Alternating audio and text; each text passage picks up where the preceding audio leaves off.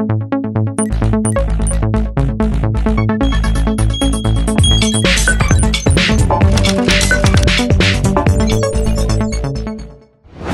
هذه المعلومات سوف نناقشها الآن مع ضيفي في الاستوديو رائد الخضر رئيس قسم الأبحاث في مجموعة إكويتي. أهلا بك رائد. أهلا وسهلا. نتحدث بداية طبعا عن اقتراح الرئيس الأمريكي دونالد ترامب بفرض رسوم على واردات الصلب والألمنيوم ما تأثير هذا القرار إن تم تطبيقه على الاقتصاد الأمريكي؟ آه، بلا شك يعني كانت مفاجأة نوعا من نوع بشكل كبير للأسواق والمستثمرين مثل هذه التصريحات صح. التي آه، تصب في خانة السياسة الحمائية التي يتبناها آه، ترامب وإدارته إضافة إلى نقطة مهمة اللي هي تواجه ضغط أكبر على شركات داخل الاقتصاد الأمريكي لإمكانية أو صعوبة استيراد هذه المواد مع فرض ضرائب جديدة أيضا إضافة إلى مخاوف الحرب التجارية التي تعلنها الولايات المتحدة الأمريكية بمثل هذه القرارات وإمكانية ارتفاع تكاليف استيراد أيضا مزيد من الإنتاج في المستقبل إضافة إلى التصدير وصعوبة التصدير أيضا التي سوف تكون أمام الولايات المتحدة الأمريكية. طبعا ذلك سوف يؤثر على العديد من القطاعات أهمها المانيفاكتشرنج والصناعات التحويلية التي تعتمد بشكل كبير على استيرادات الصلب وكذلك ممكن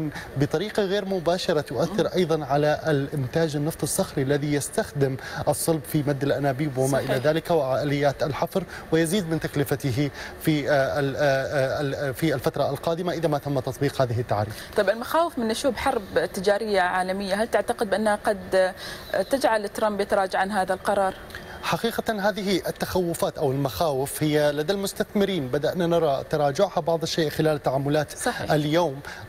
طبعا نتيجة أنه لا يزال هناك نوع من الضغط السياسي داخل الولايات المتحدة الأمريكية لمواجهة مثل هذه القوانين وممكن أن تكون الحل بأن تكون الارتفاعات مؤقتة. طبعا هذه المخاوف تسبب يعني ضغوط أكبر على أسواق الأسهم وممكن تضغط بشكل أكبر عن على الإقتصاد الأمريكي ببياناته التي سنراها لاحقا خلال الفترة القادمة ولكن من الصعب الحكم مسبقا على هذه الإجراءات إلا من خلال الأسواق حاليا والرياكشن أو ردة الفعل التي نشهدها والتي كانت نوع من التخوف الكبير وساهمت بدفع الذهب والملاذات الآمنة نوعا ما خلال بداية تعاملات الأسبوع بعد التصريحات مباشرة ولكن عاد للضغط مجددا بالاتجاه الهابط. صحيح، أيضا المفوضية الأوروبية اقترحت فرض تعريفات 25% على واردات الاتحاد من بعض المنتجات الأمريكية.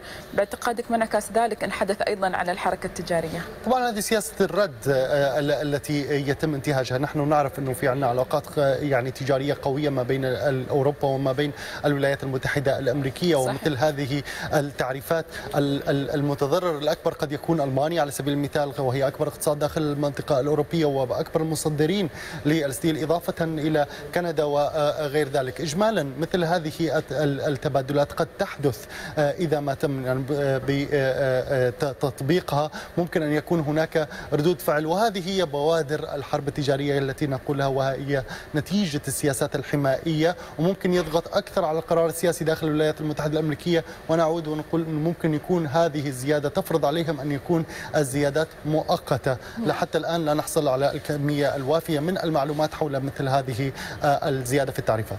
رائد عادة ما نسمع تصريحات من وزراء في أوبك ووزراء يعني في قطاع الطاقة بشأن أسعار النفط إلى أي مدى ستظل هذه التصريحات تدعم أسعار أسعار النفط؟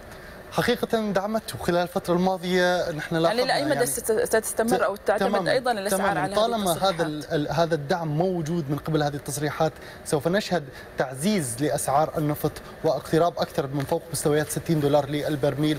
طبعا هذه التصريحات تبقى داعمة حتى يتحسن الطلب فعليا ويدعم آلية التوازن بشكل مطلوب بحيث لا يكون هناك حاجة لتجميد حجم الإنتاج عند سقف معين وإنما يكون هناك ترك لآلية العرض والطلب لتحديد ذلك. حتى الآن المعروض النفطي كان في الفترة الماضية هو الطاغي نظرا لتراجع الطلب وطبعا هذا كان حول العالم. الآن مع التصريحات والدعم المتزايد المرتبط بتجميد الإنتاج حقيقة تجميد نعم. الإنتاج هو الذي يدعم وإمكانية التدخل هو التي هي التي تدعم أسعار النفط للاستقرار عند هذه المستويات خصوصا مع وجود قوة في الدولار الأمريكي مؤخرا لم تؤثر كثيرا على أسعار النفط نعم إذا رائد خضر رئيس قسم الأبحاث في مجموعة إكويتي شكرا جزيلا لتواجدك معنا شكرا لك.